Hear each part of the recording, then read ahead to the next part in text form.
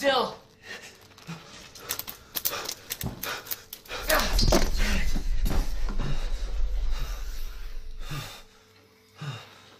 We gotta get the hell out of here.